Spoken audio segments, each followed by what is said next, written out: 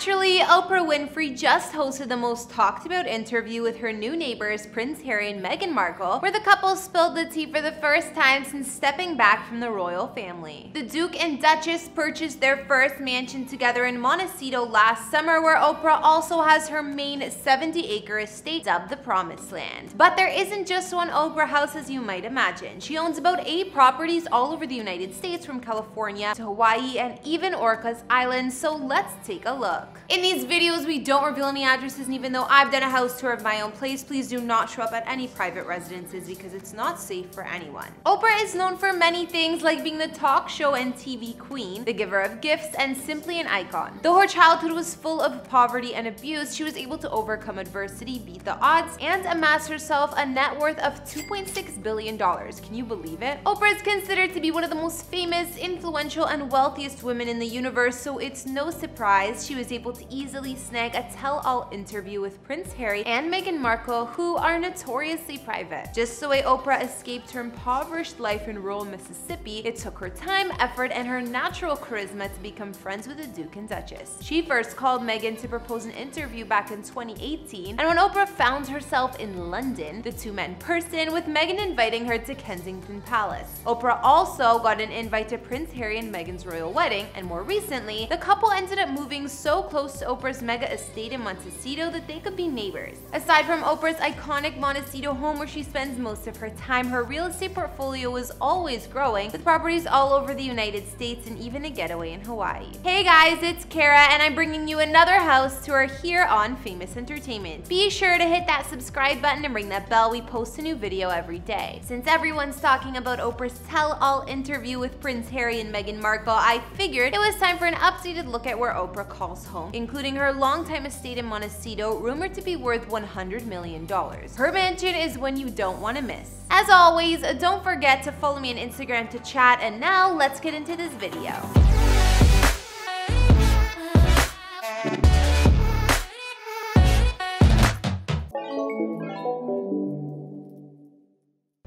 Back in 2001, Oprah was invited to a party at a dreamy estate in the picture-perfect neighborhood of Montecito near Santa Barbara and the rest was history. She fell in love with the peaceful 42-acre property so much that she persuaded the owners Robert and Marlene Veloz to sell the place even though it wasn't on the market. Oprah wrote up a check for about $52 million and began making this place, now called the Promised Land, her very own. She named the property this to symbolize her journey from rags to riches as it's taken from a biblical reference for an African American woman living in paradise whose ancestors were slaves. Oprah's home is decidedly paradise, estimated to be worth about $100 million these days after several additions. The main mansion was built in 1912 originally, but underwent extensive renovations to make it its current size of 23,000 square feet and to suit Oprah's specific tastes. There are more than 6 beds and 14 baths throughout, as well as 10 cozy fireplaces.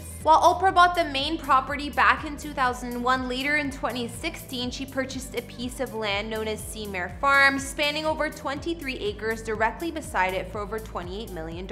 This additional property boasts a 5,000 square foot ranch-style home, a pool, horse stables, caretaker cabin, equestrian ring, and even orchards. Furthermore, Oprah bought another 44 acre preserve on the other side of her property to get ultimate privacy. These days, the promised land spans over 70 acres near the beaches and the mountains. Oprah's main home is designed in a classic Neo-Georgian style and the main entryway has a winding staircase and high ceilings personalized with photos of loved ones so the star can see them upon first walking in. In fact, as her forever home, Promised Land is where Oprah and her long-term partner Stedman Graham love to spend time and have decorated the place full of mementos, books, and artwork. The home has been thoughtfully put together over the years and Oprah runs her business empire from the property too. When she's unwinding, sometimes she even post pics hanging with her dogs here on Instagram. The kitchen is the heart of Oprah's mansion, and it's a spot where she and her loved ones can get together and kick back. The TV icon had the fireplace and pizza oven removed to create more space here, but left the rest as is. Altogether, her mansion boasts several living rooms, a library, kitchen, two movie theaters, an office, and a wine cellar. Also on Oprah's property, she has a fully redecorated and elegant guest house, as well as a tea house. Her tea house is set right in the middle of the garden and was was originally built as a place to cut flowers, but she changed her mind and made it a space for herself. She also says she comes to the tea house to read, meditate, and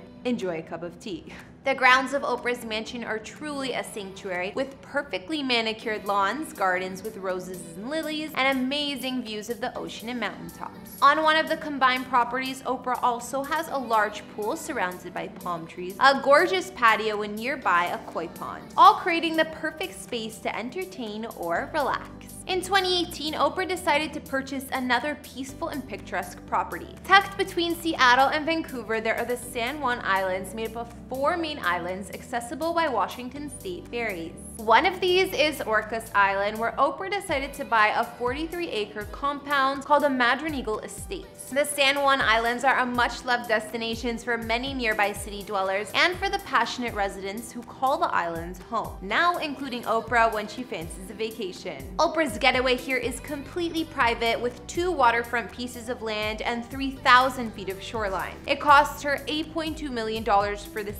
expansive property and inside the residence measures in at over 7,300 square feet with four beds, three full baths, and two half baths. The main residence is three floors and made with stone accents and natural woods used throughout which create the all-American luxury cabin feel. The floors were even installed from the old Sears building in Chicago and refinished for the home. As you enter, you're greeted by a massive hanging art piece that frames the entryway and sets the stage for what's to come. The main level is home to the kitchen with pizza oven and skylights, living room, dining area, and bedrooms. Oprah's master suite features a stone wall with wood accents and a marble spa-like ensuite. There's also a library corner in the home with floor-to-ceiling bookshelves, which I'm sure is a feature book-loving Oprah takes advantage of. Also on the lower level, there's a home office complex, wine cellar, and a tasting room. A custom-built staircase leads to the upper level, where there's a huge bonus room or family room, as well as a fully stocked games room. Outside is as lush as you might expect with native trees and plants manicured perfectly. Stone Stone paths weave through the gardens, which completes the peaceful, earthy landscape. And that's not all. Of course, Oprah also needs room for her traveling entourage, which the gallery house is perfect for. The contemporary guest house on the property is just under 3,000 square feet and has four beds and three baths, all set on a high cliff perched above a private beach. Other features on her Orcas Island property include a tea house underneath the trees and overlooking the water, a huge barn with a woodworking studio up top, and a gym and yoga studio on the lower level. Elsewhere, there's a sauna, a garden, pond and stream, private hiking trails, and private beach. So now we've taken a look at Oprah's properties, well, two of her more notable ones, and I think I'll bring this house tour to an end. After checking out her sprawling Montecito compound known as the Promised Land, as well as her Orcas Island estate, which would you choose to live at? I think they're both breathtaking, and with all of her properties, that's only the tip of the iceberg. But I like her Orcas Island place best. Something about that forest atmosphere I really love. Be sure to tell me what you liked or didn't like about Oprah's properties in the comments down below, and and if you want to see the nearby Montecito mansion Prince Harry and Meghan Markle moved to, we just reported on that too, and we'll link it after this. Thanks for watching. Don't forget to follow me on Instagram, and I will see you all in the next video.